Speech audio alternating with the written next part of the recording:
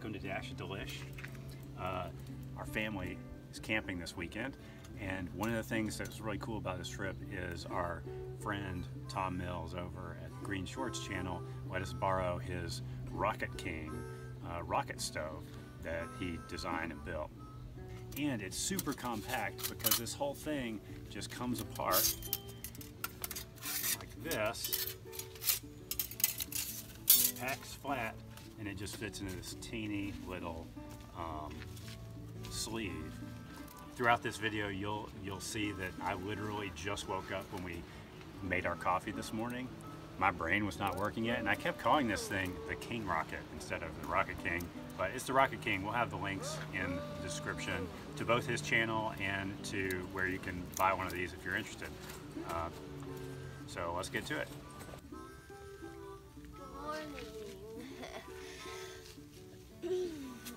I'm still tired. I'm sleeping in there. But We just woke up at our campsite and we're going to try to make some coffee.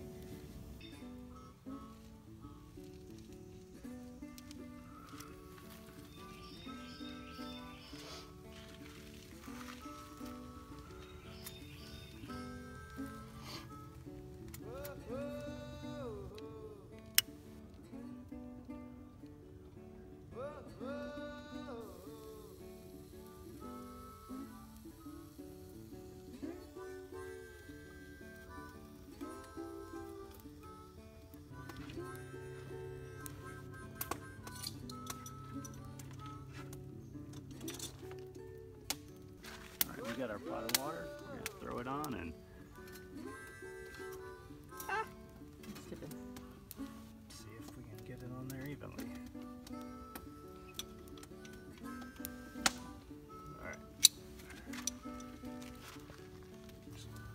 Keep feeding the fuel. in. Push it in as it burns down. Yeah. Ooh, there's some flames.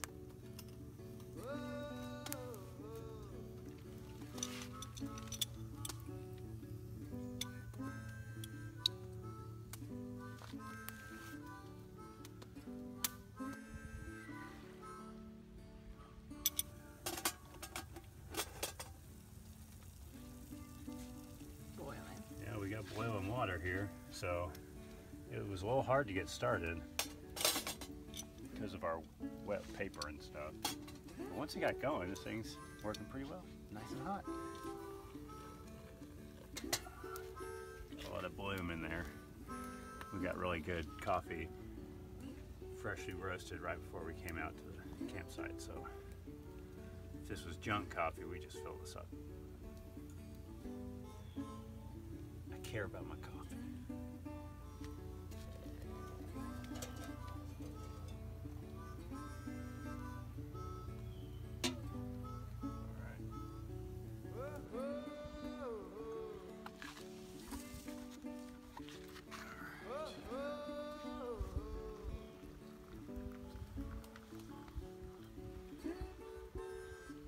I can finally wake up.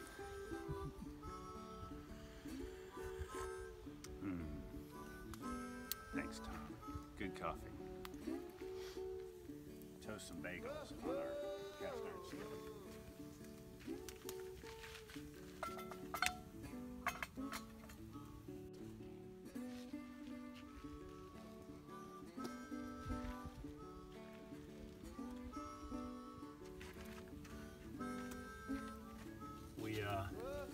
Thought really far ahead and forgot any kind of utensil that would work on the pan, so we're just using our s'more sticks to move things around and stuff.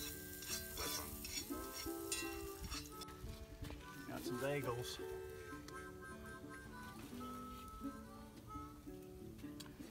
See how the rocket stove, King Rocket Stove, works with our uh, with our bagels.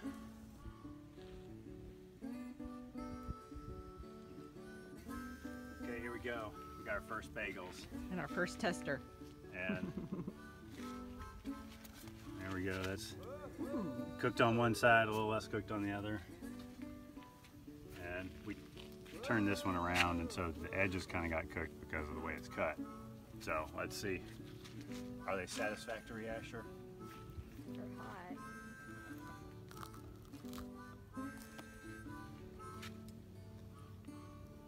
Pretty good. Awesome. Well, King Rocket Stove worked pretty well for us. Um, our conditions weren't ideal for getting it started, but it even worked for this cast iron. Okay, so we've we've cooked a few times over this trip, and um, most of our cooking we've actually just done on the fire here because we're using like our cast iron. And one of the things that was really cool that we noticed was that with this, um, we used a lot, a lot less wood to produce enough heat to heat up our water and our pan. And you can see uh, this this tiny pile of ash compared to an enormous pile of wood. Now the wood's pretty, the fire's pretty and stuff, but if you're backpacking instead of car camping at a campsite like we are, then um, you don't may not want to make a giant fire like this. Um, and this would be a great use of your of your space to be able to just bring it in and use just found wood in the in the place around your campsite, and uh, it worked great. Thanks, Tom, over at Green Shortz for letting us borrow this and trying it out on our camping trip. And um, if you enjoyed this video, you should sleepily click that subscribe button.